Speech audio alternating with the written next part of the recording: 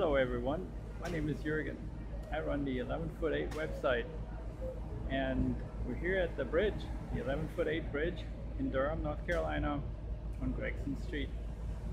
For 11 years and almost 8 months I've been documenting the crashes here at this bridge. Uh, the crashes of overheight vehicles that hit the, this low bridge and today is October 26th, uh, 2019 and uh, they're in the process of raising this bridge. So it's a bit of an era that comes to end and I'm here to give you guys one last tour of the old can opener before a new era starts with the 12 foot 4 new rebooted can opener. Let's walk over to the bridge and see what they're up to over there.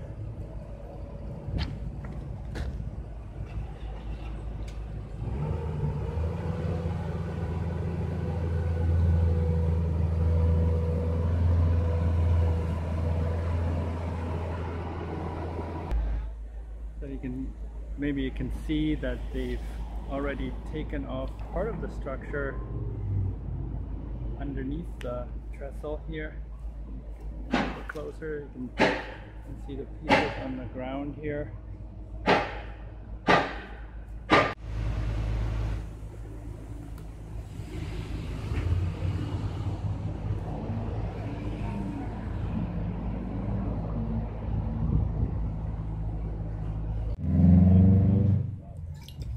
taken part of the structure apart, cut it off.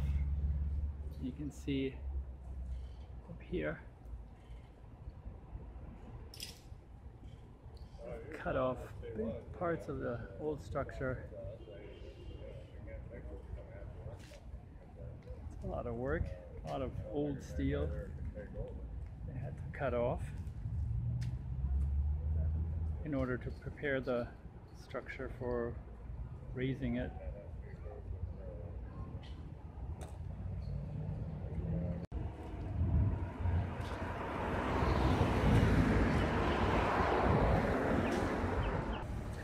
Spoke uh, to one of the supervisors here at the construction site the 11 foot 8 bridge and um, he told me that the work that's currently going on is basically cleanup work. They're getting rid of a bunch of unused parts of the bridge um, like the old um, walkway rem remnants that are no longer useful.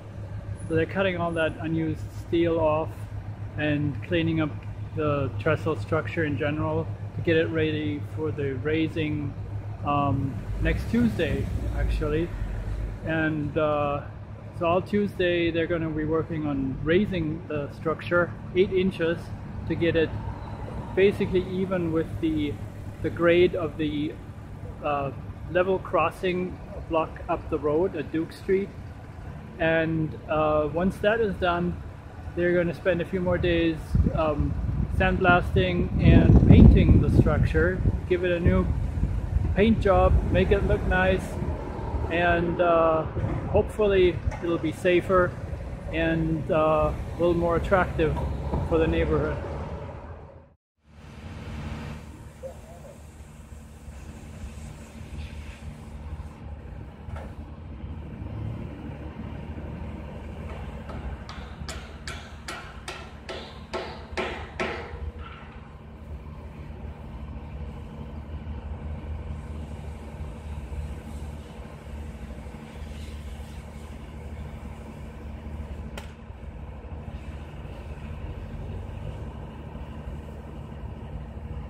So they've cut off most of the bolts of the crash beam. And here's one of those bad boys. Still hot, I have to be careful, not to burn my fingers. But yeah, they cut, cut off most of the bolts now and uh, they're making a plan for getting the crash beam down. So uh, a train just passed and they moved the crane across the trestle attached the crash beam and they are working on removing the last couple of bolts now that hold the crash beam in place so they, they can remove the beam and lift it down.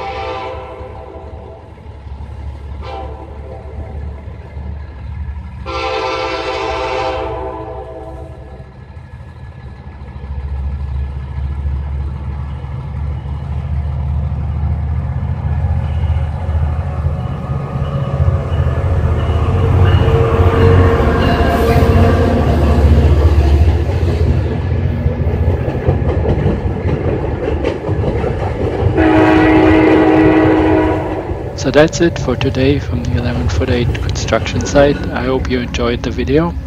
I'll have more updates in the next few days